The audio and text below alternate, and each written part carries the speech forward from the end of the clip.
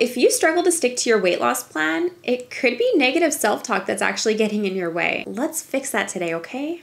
Hey ladies, you're with Megan, and this is your go to resource for plant based nutrition and weight loss motivation. Today, I'm talking all about self talk, how it impacts your weight loss journey, and what you can do to actually change the narrative if you're having a negative self talk. But before we get into that, I wanted to extend an invitation to you to my brand new coaching community over on Facebook. It's Plant Based Health for Women. It's an awesome group, you guys. There's a ton of engagement there, and I know you're gonna get a lot from it. So go ahead and click the link down below and join us today. So, today I'm gonna break down exactly what self talk is how negative self talk can impact your weight loss. And then I am to throw in some tips right at the end of the video on what you can do to change the narrative. So be sure to watch right to the end. So, what is self talk? Guys, believe it or not, there is always a constant murmur running in the back of our minds, whether we're aware of it or not. And unfortunately, what we don't know can actually hurt us, especially if that murmur is negative and degrading.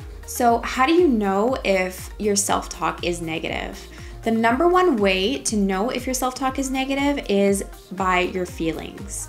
So, if you notice that you're in a really crappy mood, if you're constantly down on yourself, if you're feeling unworthy, if you're feeling anxious, if you're feeling just not confident, I guarantee you, if there's not an actual uh, reason why, you know, like maybe you're going through a breakup or whatever it is, if there's not a tangible reason why coming to the for- for- forefront of your mind as to why the, you're having these feelings, I guarantee you it's negative self talk that's running in the background. And the problem is, is that when you're trying to make a positive lifestyle change, uh, so maybe you're trying to eat a lot better or exercise a little bit more, that negative self talk quickly turns into self sabotage. And the reason why is because we're constantly saying things to ourselves that are not true, right? Like you say things like, ah, oh, you're not good enough, or you're never gonna succeed anyway. Go ahead and eat that chocolate cake. It's not gonna make a difference anyway. You know, like like we constantly are are seeing these things in the back of our mind and then we start to believe it. We believe that we're not worthy of a, of a positive change. We believe that we're not worthy to be healthy.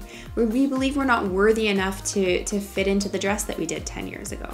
So, if you're noticing that you're starting to have negative feelings, I really want you to take a step back and think about what started it. Where did these negative feelings come from? Did you maybe catch a glimpse of yourself in the mirror as you were walking by? And did you slam yourself on how you looked? Did you wash your favorite pair of jeans, throw them in the dryer by accident, and then try to pull them on and they're like a little bit too tight? Small triggers can send us into a downward spiral, into a pit of negative self talk.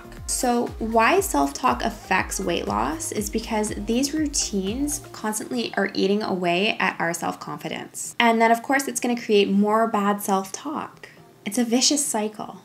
And you know what, ladies, if we aren't careful, this negative self talk is going to rob us of our happiness today, and it's going to rob us of our happiness in the future.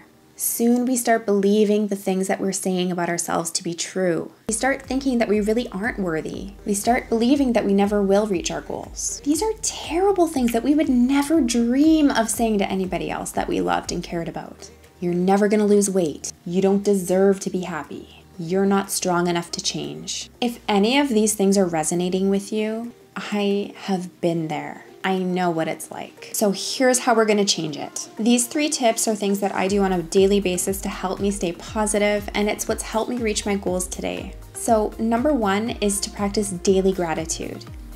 And it's not just daily gratitude where you're like, oh, I'm so thankful to be alive today. No, like you need to be specific.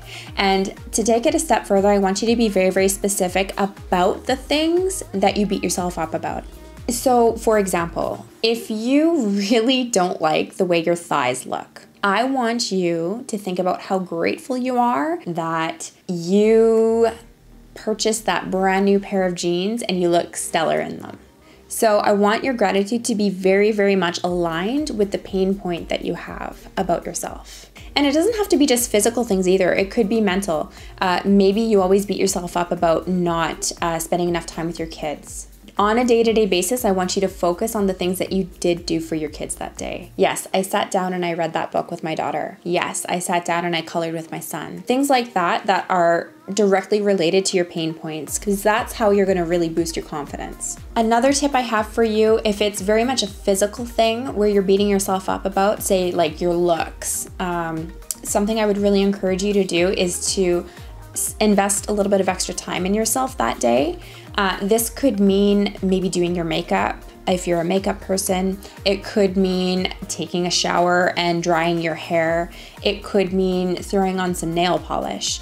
Everybody is different in how they like to present themselves to the world. And so, if you're finding that you're kind of letting yourself go to the point where you're not um, putting yourself together during the day how you would prefer to to be looking then i really encourage you to take that extra 10 15 minutes even and to do that for yourself on a daily basis. That extra 5 minutes will make or break your self-esteem because now when you catch a glimpse of yourself in the mirror you see yourself done up. You see yourself looking the way that you want to feel and that's very very important. If you're not a makeup person don't worry about the makeup. Maybe you're a hair person. Maybe you're a favorite sweater person, you know?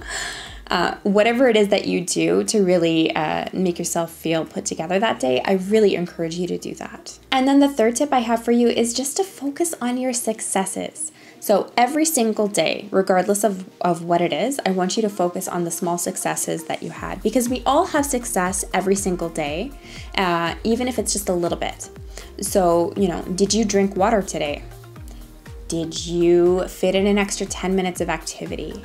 Did you eat your servings of vegetables that you wanted to eat that day? Now, so it doesn't have to be huge successes. You don't have to run a marathon every single day, but did you do something that was health promoting? What was it? And I want you to focus on that, and I want you to feel grateful for that, and I want you to stop the negative self talk. Switch it around.